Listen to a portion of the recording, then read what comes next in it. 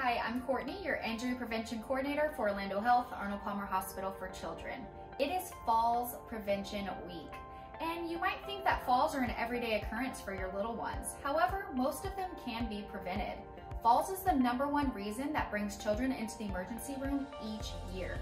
So here are some tips to keep your little ones safe at home and out of the emergency room. Be sure to keep your baby strapped in their high chairs, infant carriers, strollers, and swings.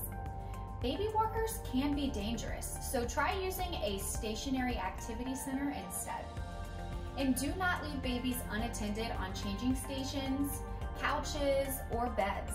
In these instances, babies will learn to roll over and fall off the bed. Do not allow children to climb on the furniture, couch, drawers, or utilize these as steps, as it can cause the furniture to tip onto them. And be sure that your children are wearing helmets during any activities that require wheels. That can be bikes, scooters, skateboards, or skates. We want to keep you and your family out of the emergency room this year, so have a safe and happy Falls Prevention Week.